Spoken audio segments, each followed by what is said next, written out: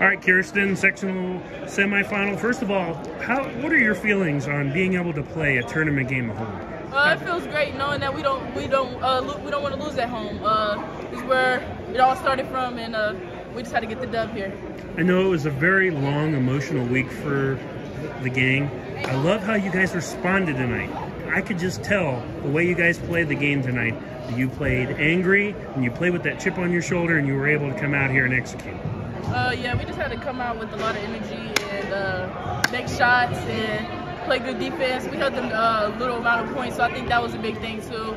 Is uh, locking in on D and uh, easy, uh, good D creates easy offense. So, what did you as the you and the seniors do to help the youngsters, to help the sophomores, the juniors, and even the freshmen in the locker room to pick their spirits back up? What did you guys do for your leadership? Uh, we just told them like we all been through this before. We was all sophomores, freshmen once, so like one mistake, don't get your don't put your head down. Just uh, keep pushing, and uh, the next play will come. and then tonight, you were able to really feel your rhythm in that first half. 17 points. What was working? Uh, just uh, when they was uh, when we were driving, kicking, they come and help. Uh, just have my feet ready and shoot it. Do, you think it gets exhausting? Everyone keeps saying, you know, Tygers are struggling with the zone. Well, they came at you guys in the zone tonight, and you were able to really break it early.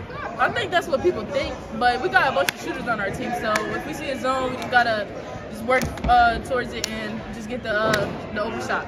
It was good too to, for you guys to really flex your depth too. You got a lot, a lot of girls in and out tonight. hmm Oh yeah, it feels good to uh, have subs on the bench and uh, get the easy uh, the work done early so they can come in. You get Port Clinton on Saturday night here. One more game at home. That's your final home game. It's got to be special. Yep, we gotta go out with a bang.